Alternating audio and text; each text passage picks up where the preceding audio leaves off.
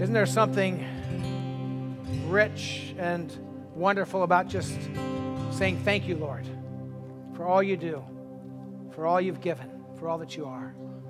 One of the things I'm deeply grateful for is that through our years of ministry, Sherry and I have made some great friends who also serve Jesus in different places. And Jeff and Chris Manion are one of those couples that we count as our just a close group of friends. Yep. And if, if something's going on in life, um, I know I can call Jeff and bounce things off. Right? Jeff and Chris will pray for us. They love our family. They love Shoreline Church. Because of that, and because Jeff's a really, really good preacher, uh, we keep inviting him back.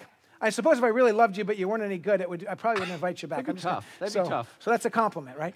Uh, but I think this is Jeff's sixth or seventh year in a row being here with us. Now, the last time he came and preached was the week before things shut down for COVID. And I'm not blaming him. I did this. But I'm saying there was a correlation because you went home like the next week, right? And everything. Yeah. Uh, and so it's been. I was the last speaker in that. Yeah, in that yeah, yeah. And so it's. Uh, and, and, so, in a few weeks, we'll be moving back inside as an option. So awesome. it's been quite a year. So I want to invite you to pray with me uh, for two things. Let's pray for Jeff that God would anoint him with a spirit and bring the message and power to us and open up God's word to us. And let's pray for ourselves. Yeah. Particularly to identify if there's a place in our lives where we need to take a next step forward, where we're kind of treading water, stuck, not moving, and God wants to do something to kind of unleash us. Let's just pray that God would prepare our hearts. Let's pray together. Lord Jesus, we thank you for Jeff and Chris, for Ada Bible Church, where they have served for a lifetime of ministry. One church for a lifetime. What an amazing gift that is. Would you bless Ada Bible Church right now as they're here with us? and as, as the word's being preached there. And Lord, would you anoint and empower Jeff as he brings the word? Fill him with your spirit, with passion. And Lord, you have a message for us from a great book of the Bible, oftentimes missed, but, but so powerful and so relevant for today. And then we pray for ourselves, Lord. Prepare our hearts right now.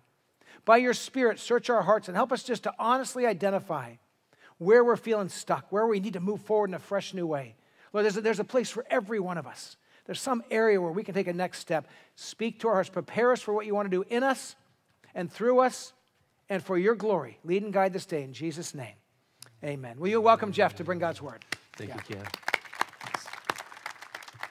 Well, hello. And it is just it is just a joy for Chris and I to be uh, with you at uh, Shoreline uh, again. We just uh, love being being with you, and just so so grateful we get to share this weekend with you. I'm going to ask you for a confession. I'm just wondering how many of you have been driving a car that you got stuck in the snow? Show of hands. Anybody? Anybody? Okay. Far more likely to happen in Grand Rapids, Michigan than on the Monterey Peninsula. I know.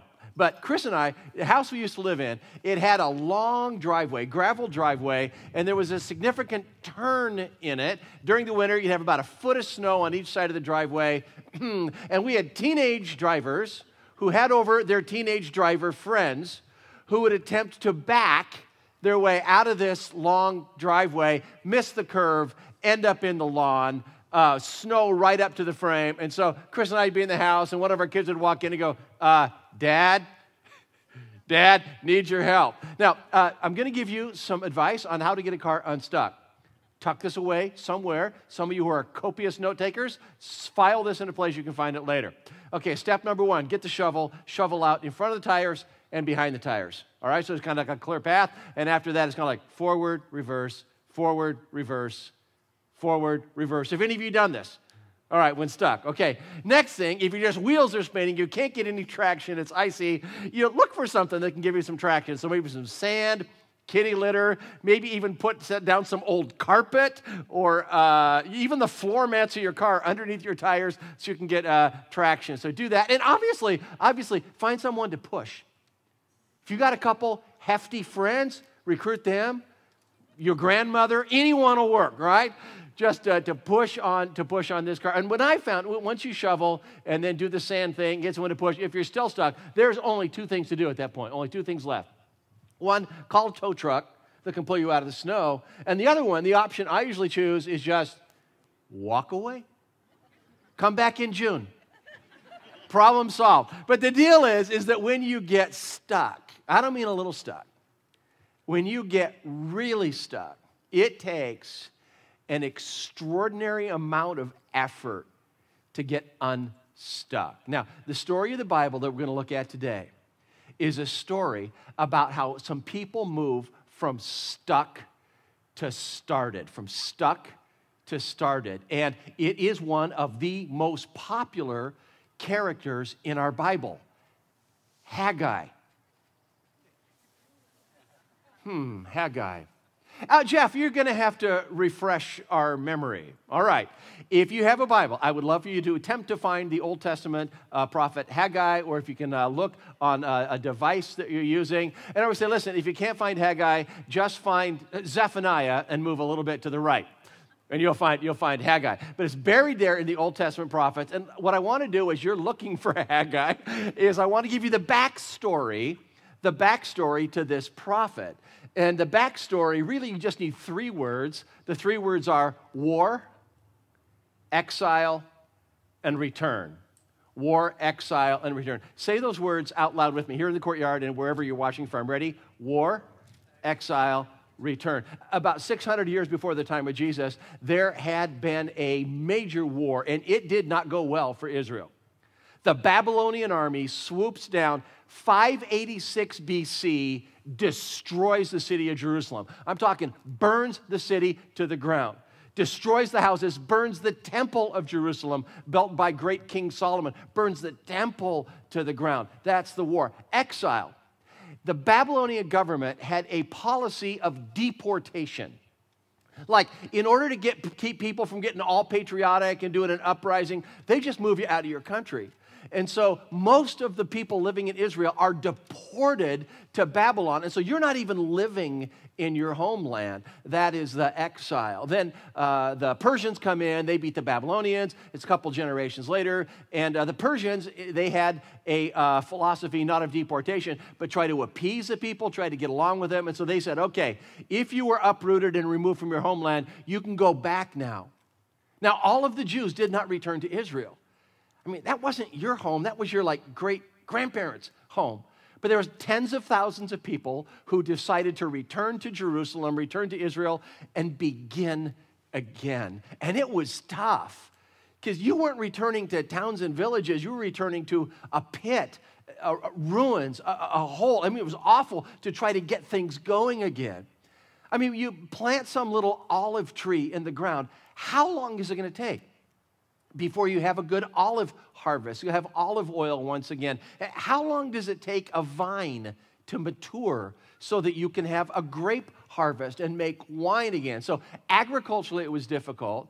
You're beginning to build a house, and yeah, there was, uh, there was that other thing the temple.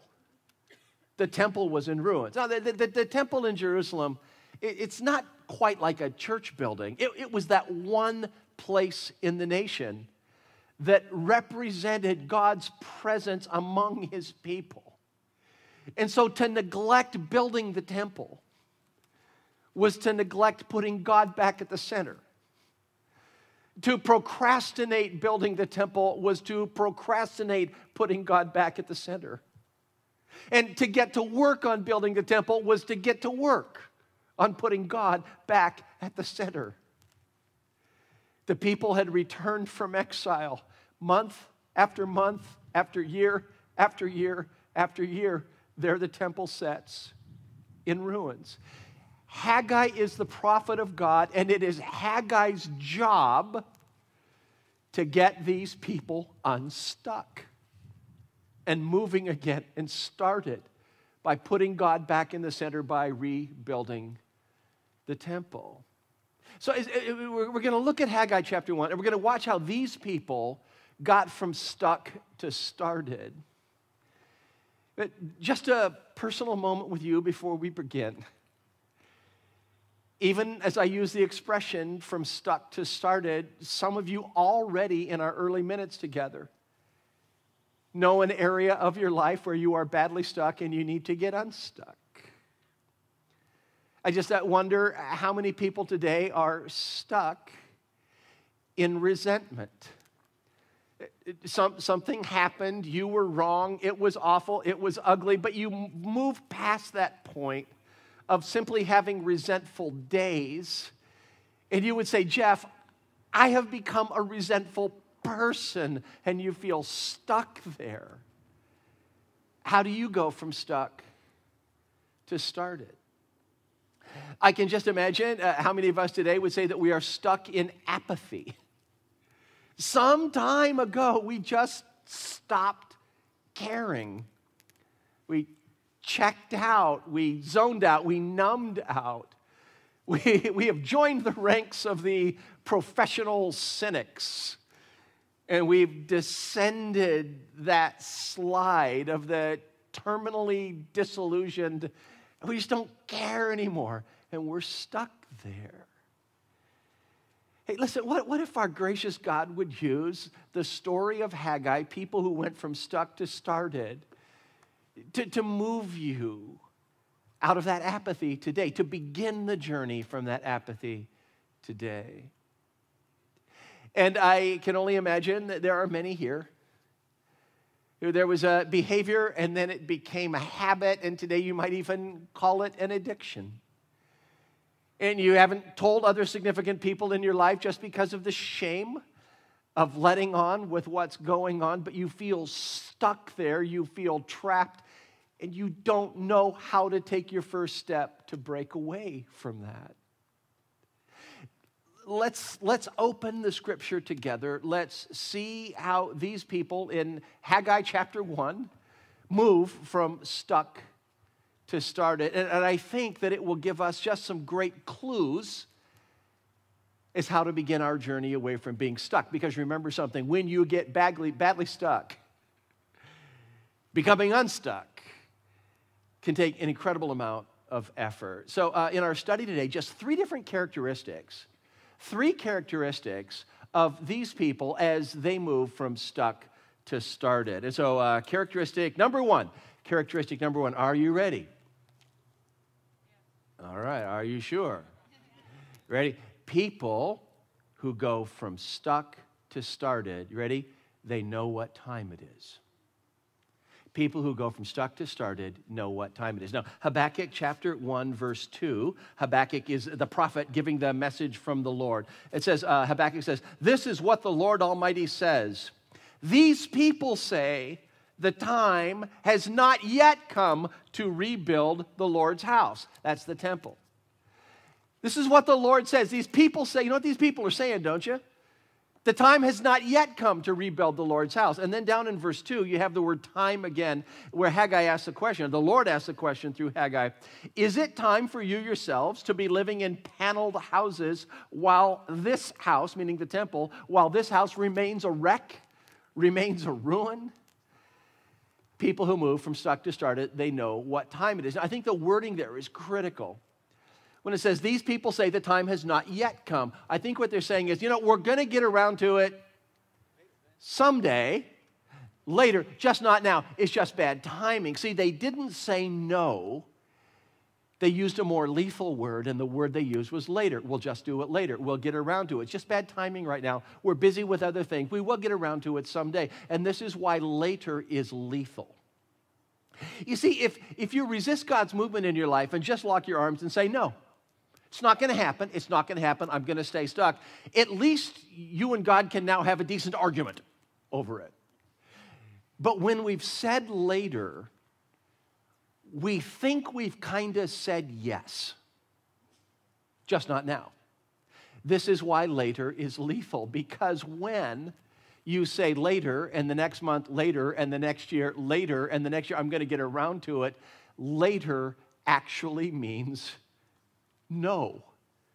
But we feel like we've said yes as we're saying no. The time has not yet come. The time, you know, we really need to get around to that. We believe it's a it's it's important. We'll get around to it someday, just not now. It's just really, really bad timing. Here we go. People who move from stuck to started somewhere in their journey are able to say the two words, it's time. Can you say that out loud with me? Just two words. Ready? It's time. Uh, those of you uh, watching from other places, not just play along here. Ready? It's time. Ready? It's time. It's time. People who go from stuck to started say, you know, it's time. It's time to set up an appointment with a marriage counselor. It's time.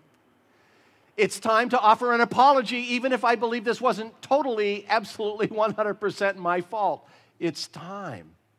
It's time to uh, sign up for a money management class that's kind of directed by Scripture to find a way to get out from under this mountain of debt that is crushing us.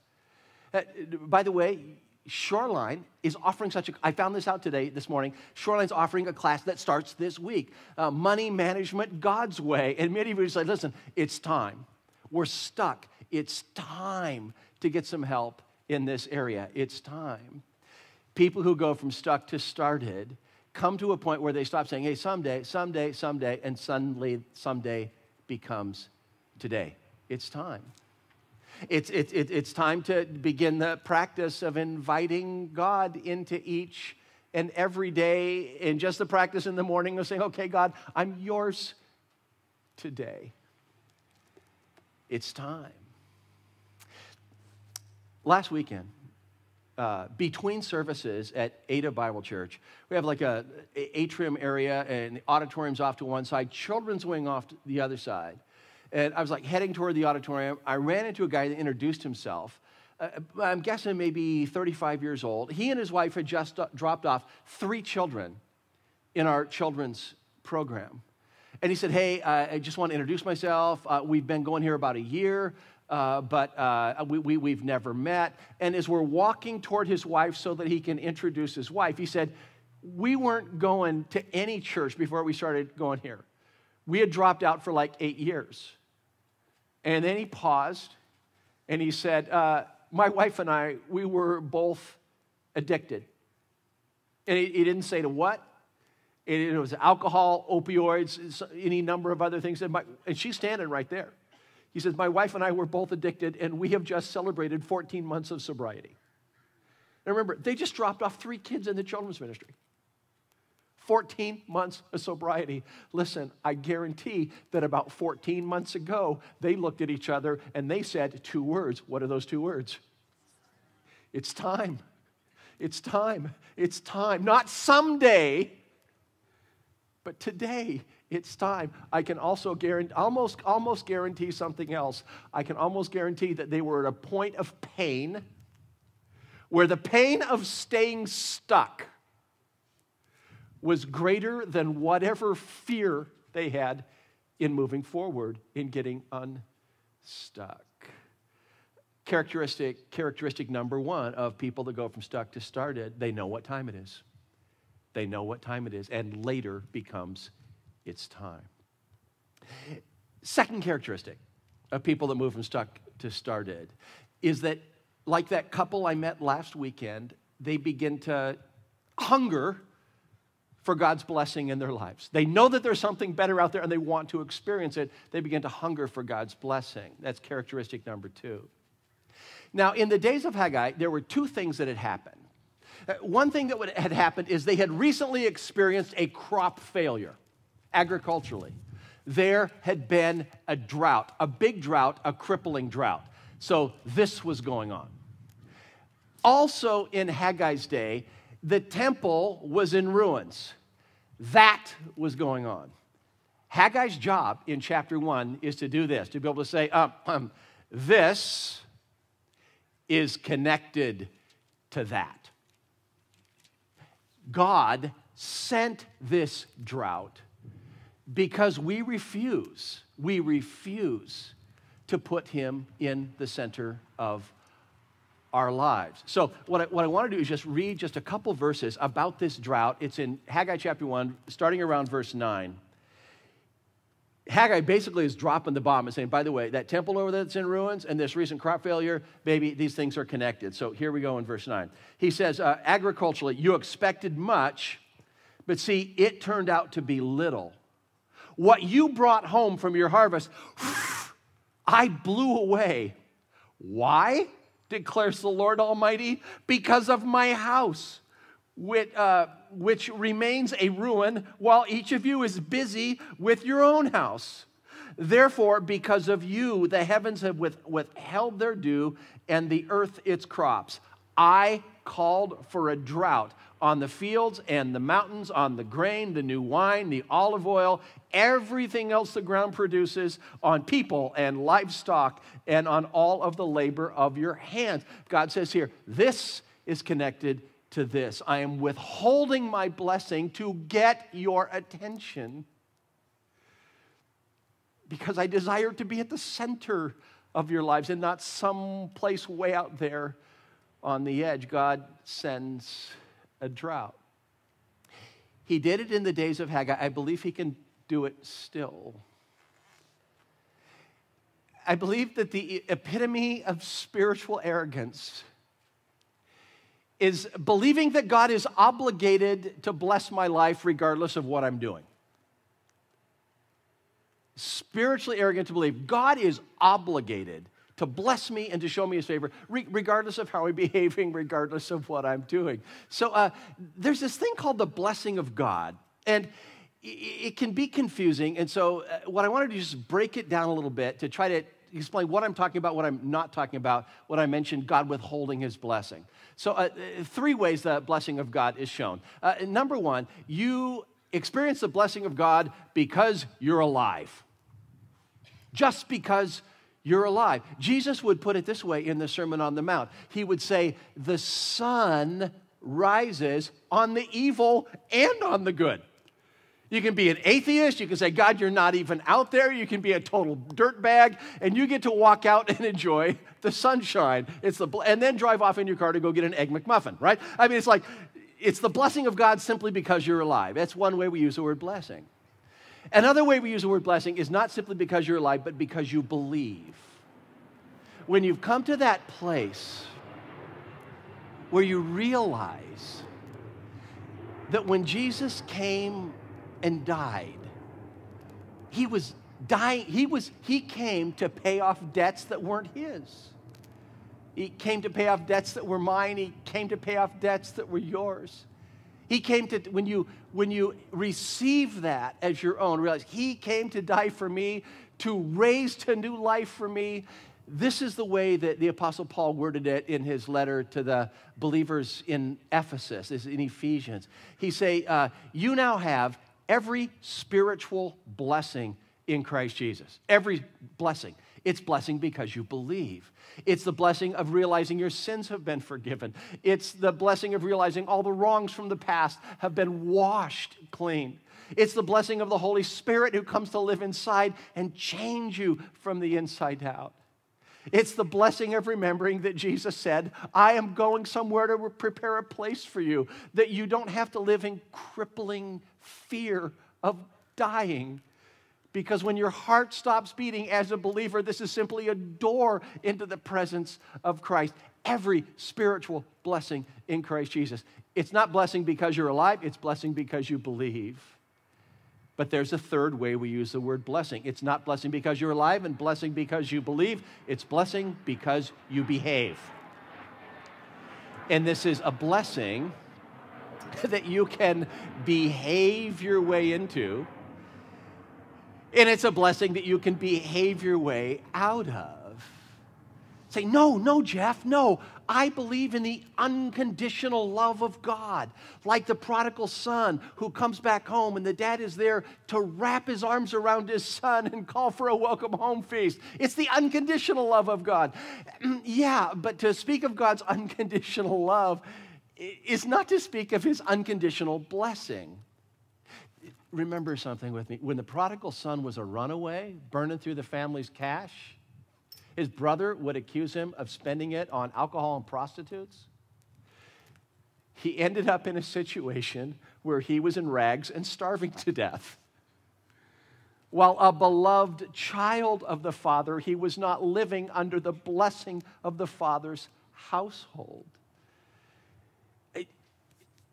when you resist God's movement in your life and cross your arms and just go later, later, later, I'll give you some attention later. Do you know what kind of drought God can send into your life?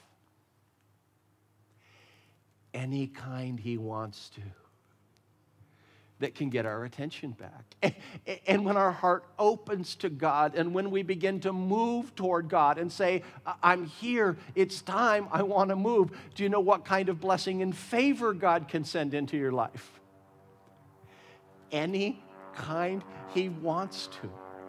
Just to say, oh, I just keep moving, keep moving. I so value your new direction. See, people, when you're stuck, I mean really stuck, getting unstuck is, is really hard. It takes a lot of effort. People who go from stuck to started hunger for the blessing and favor of God to return to their lives. Let, let, me use a family example so this kind of sticks with us a little bit. There's a dad, he's got a 16 year old new driver's license. Kid goes out, it's a school night, and the dad says, Look, hey, look at me. 11 o'clock. I need you back at, repeat after me, at 11 o'clock. Kid says, God. He says, No, no, listen. Uh, I got early morning meeting tomorrow. I won't sleep until I know you're home. And I need to get to bed because I got a hyper early meeting tomorrow, so 11 o'clock. Got it, got it. Dad's up. 11 o'clock comes and goes.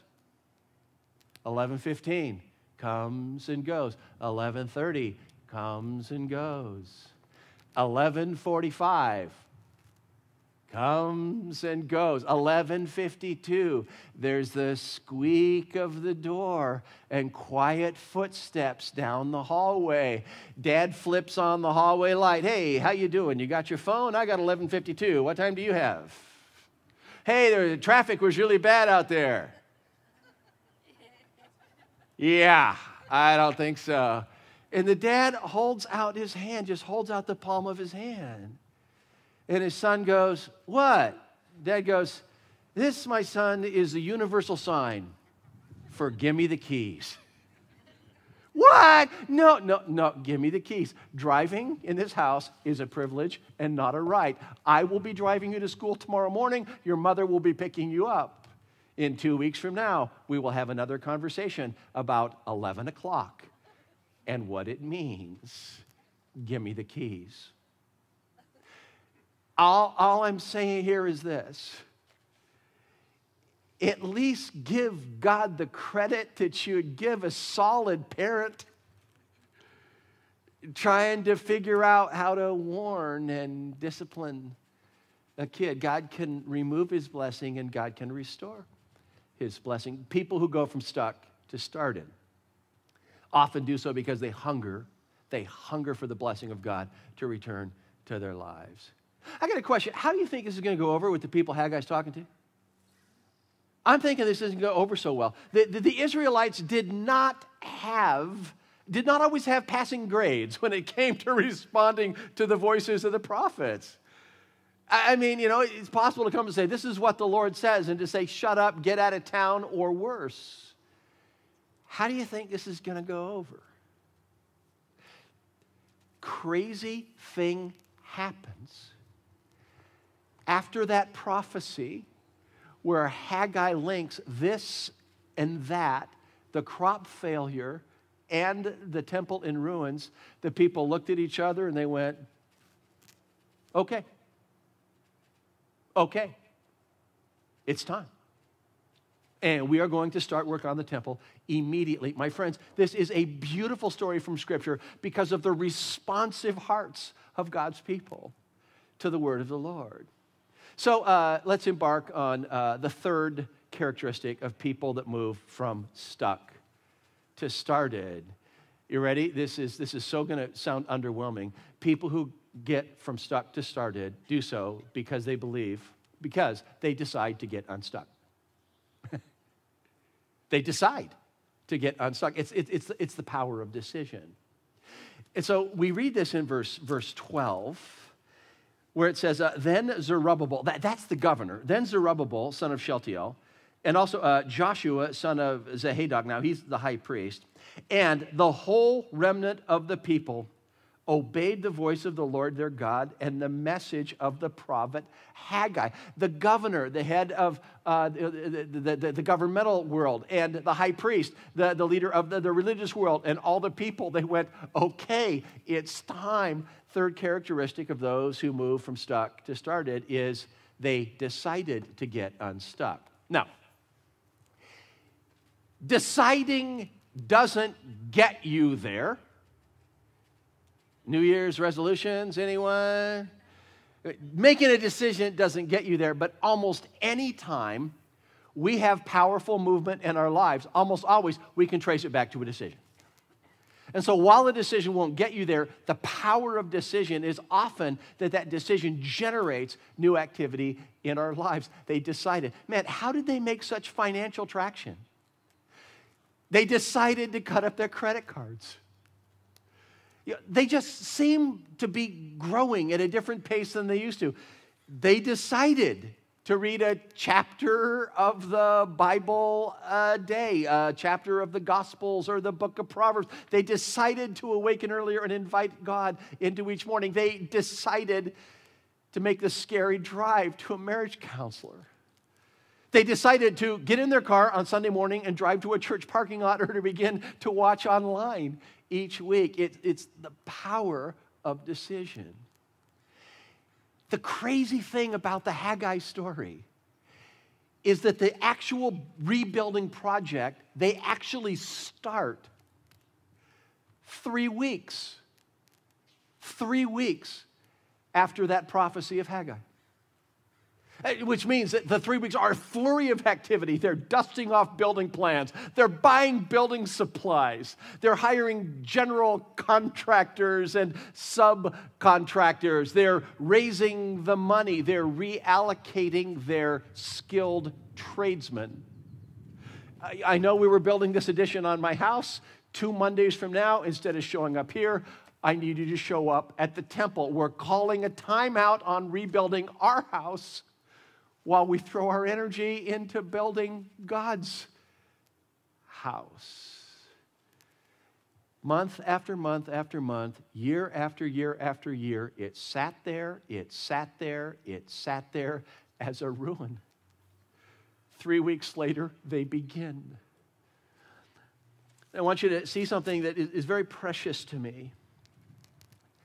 There's a, another prophecy that Haggai delivers and it comes right after they made the decision to rebuild the temple. It's in verse 13. We read these words Then Haggai, the Lord's messenger, gave this message of the Lord to the people. Four words, a four word prophecy I am with you, declares the Lord. It, it, it's not a prophecy to scold.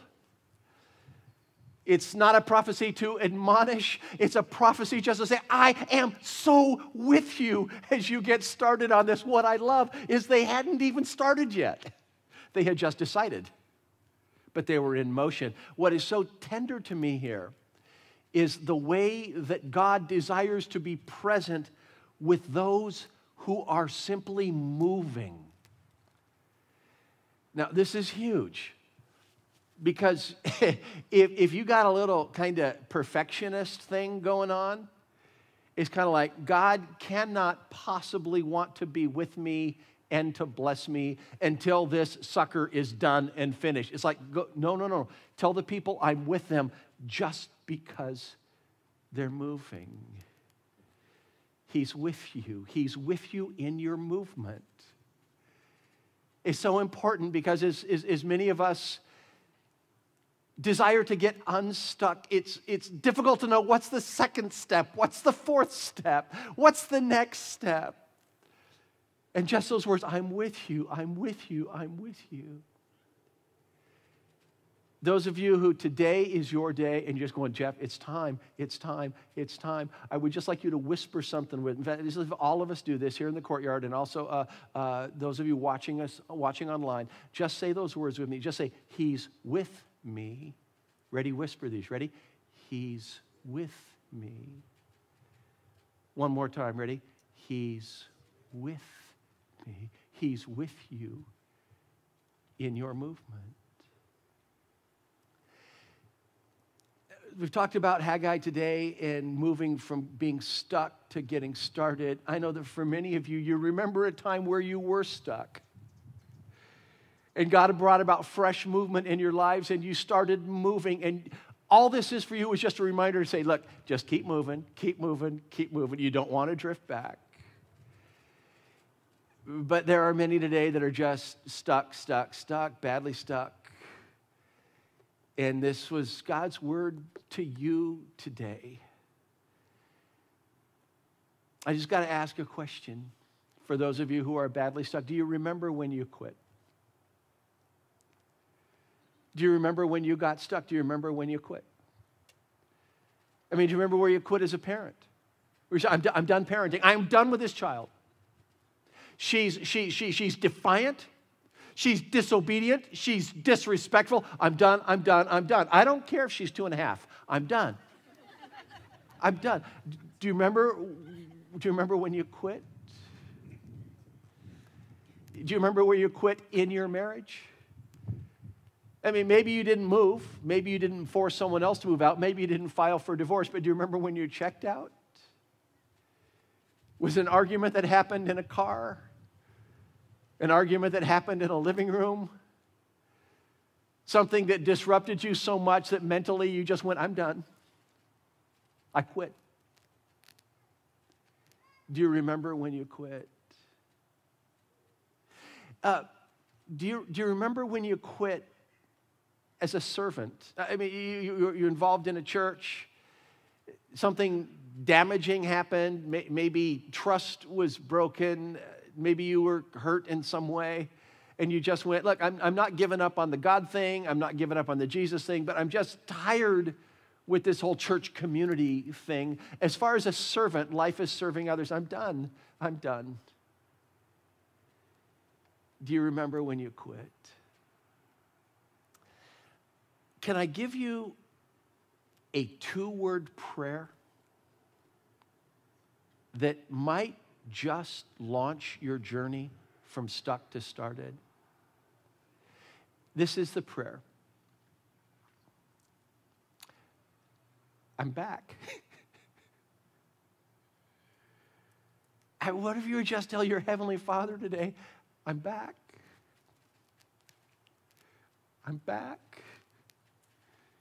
Or to at least pray the prayer, I don't know how to get back, but I want to be back. I'm back.